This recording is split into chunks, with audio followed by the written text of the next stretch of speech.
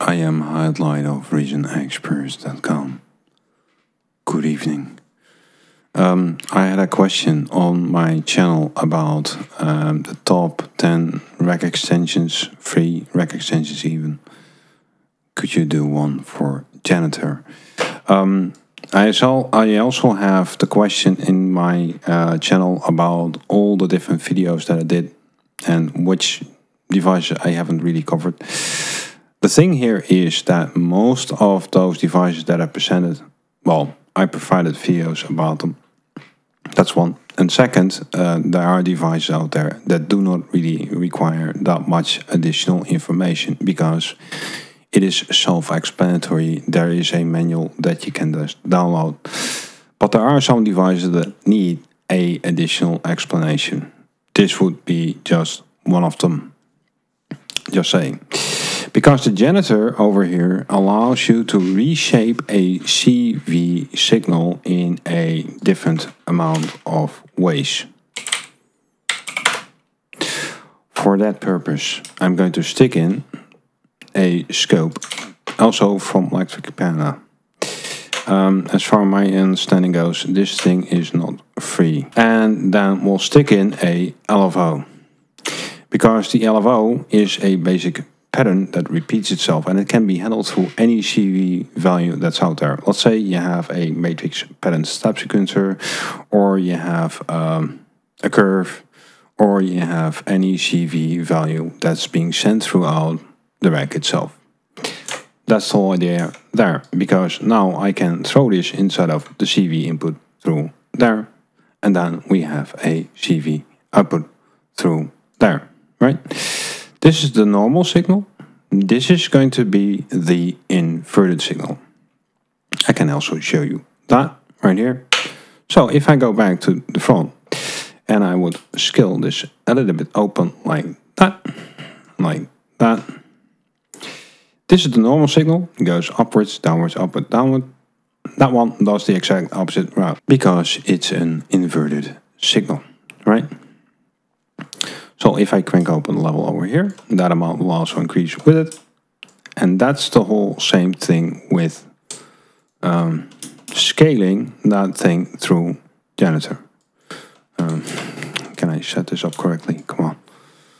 Um, so if I scale it all the way open like that, it will now be louder. At least the CV signal increases in strength. This would be similar as scaling things up and down, because over here you have a thing that's called a scaler that has a value of 1. You can see that as a percentage, for, for instance, like it's 100%. But if I do it like this, I'm increasing that whole thing with 200% even. If I reduce it, I'm reducing the amount of scalability. Thus, the maximum values and the minimum values of this sine wave in particular will be reduced. If I reset it, it becomes normal again. Right? So what happens if you're going to make that audible?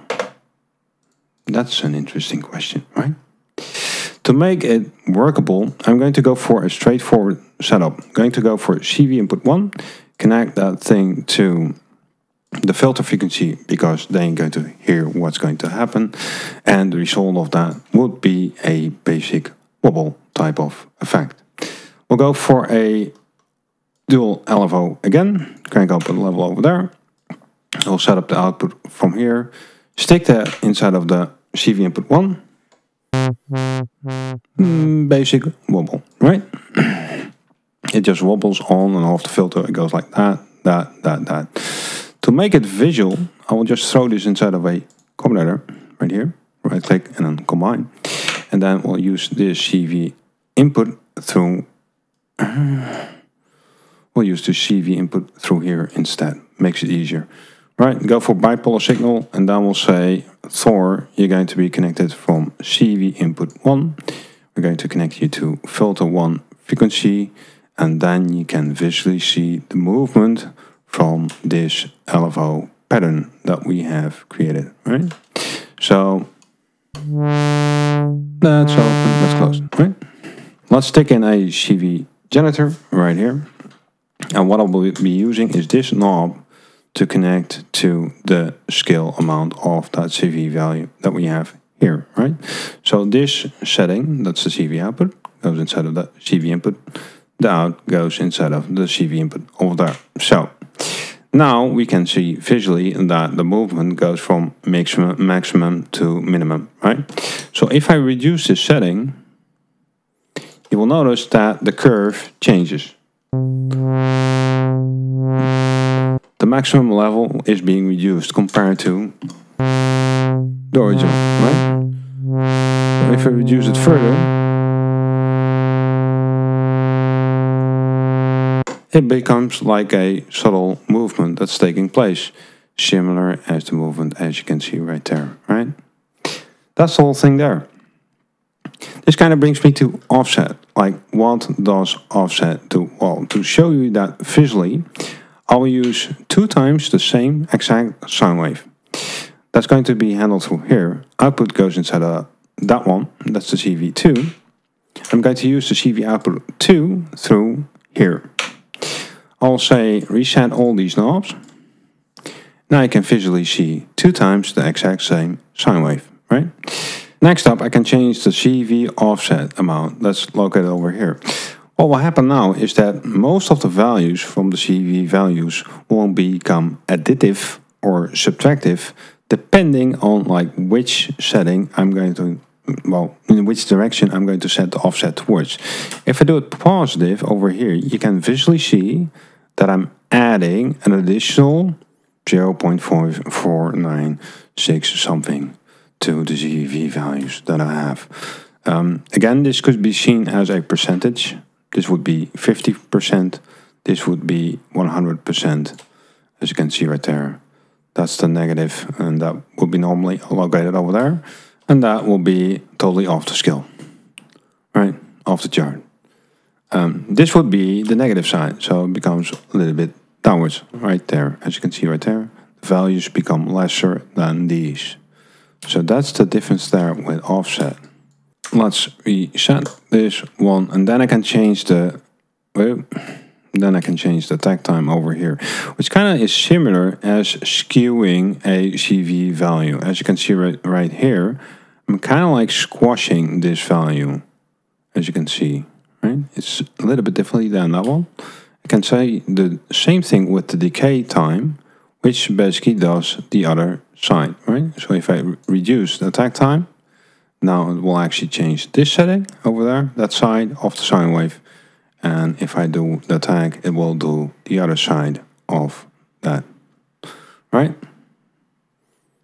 That's the whole thing there. So also make note that the values of the maximum are going to change while doing this right? If I change the attack time, uh, if I change the attack time really drastic, it will also take out the highest values from the CV value right there. If I do the same thing with the decay, it basically takes out most of the lower values, but it also squashes that value over there. So that's the way that you can reshape a CV value. In terms of making it visual using a free uh, another alternative route to present this information will be using CVA right here, because the only thing that you have to do is uh, instead of using this tool over here, go for that direction, and then use um, a duplicate, and then take that one, you, mm, that one right here, and stick that inside of the CV input, and then you basically have the same, well, sine wave right there, the same information is already there. So if I do it like that or like this, you have similar outputs, right? But still I prefer to use scope for some given reason because it's a really clean and looking device. That's the reason why I use it.